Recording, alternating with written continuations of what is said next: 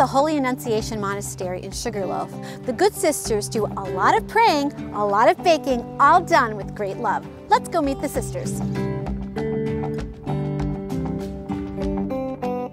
We belong to the Roman Rite Order of Discalced Carmelites. But by a very special permission, we have our own typicon, which means our rule, our constitutions, our prescriptions are just for this house. No other Carmelite monastery in the world has our constitutions. We are here for God and for God's people, which means we left the world so we can't go out to you except by praying for you. But you can come to see us. We are open to pray with you if you will come to our services. We have a bakery, we have animals, and we do have an open barn during the summer, and children love the little horses, the miniature cows, and it's a beautiful area. Sugarloaf is really beautiful.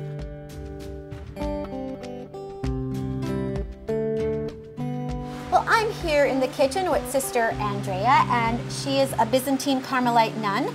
And Sister, you guys do a lot of baking here. Today you're going to bake something for us. What are we doing? A lemon pound cake. So where do we begin in making this cake? First the butter is softened. All right. So that's what we're going to do now.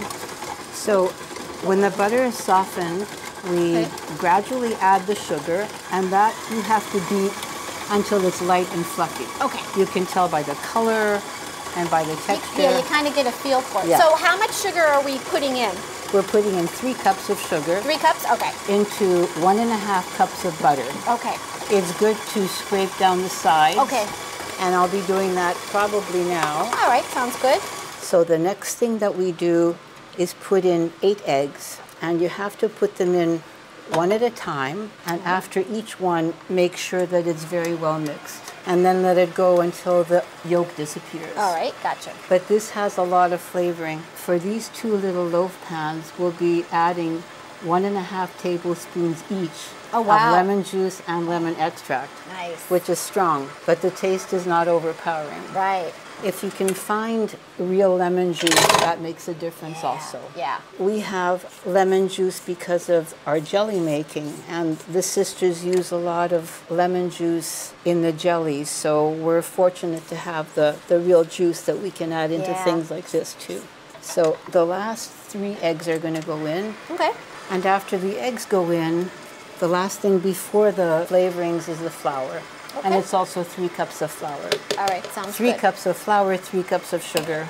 And the one and a half cups of butter is just three quarters of a pound if it's easier for some people to remember. To, okay. Yeah. All right, we can start adding the flour. Now, is that something you have to add a little at a time also? Also, and slow the mixer down, otherwise it'll blow we'll up in your in face. It. Yeah.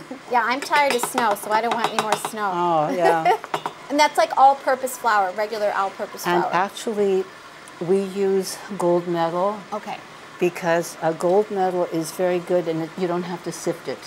Oh, okay. Which is a big time saver. Yes. And this recipe makes two loaves. Yeah, you have your choice. You can do either one bundt pan or the two loaves. The loaf pan is actually a little bit easier to work with because it's easier to distribute Mm-hmm. You know the bundt pan. Yeah. You have to keep turning and, and like go, even like getting it, it out and everything. It's yeah, so much yeah. easier. And all you do with these pans is grease and flour them both. Okay.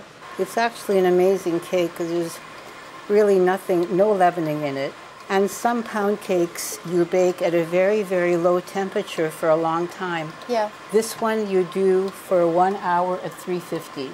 That's not bad at all. Yeah, so I just want to make sure that all the flour is smoothed in, that there are no lumps in there before we put the extract in because this, this will blend a very short time. All right. This is one and a half tablespoons of lemon juice mm -hmm. and one and a half tablespoons of lemon extract.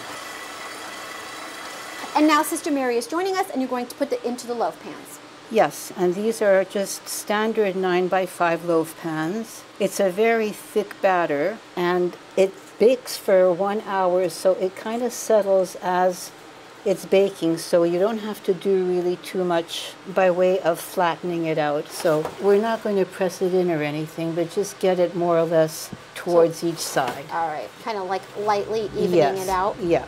And so we have convection ovens here, which means our temperature will be reduced, but in a conventional oven it's 350.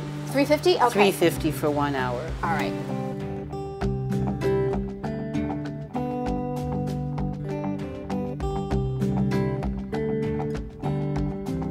Well, sisters, thank you so much for having us today and for baking this beautiful lemon pound cake. And why don't you tell everybody a little bit more about the sisters?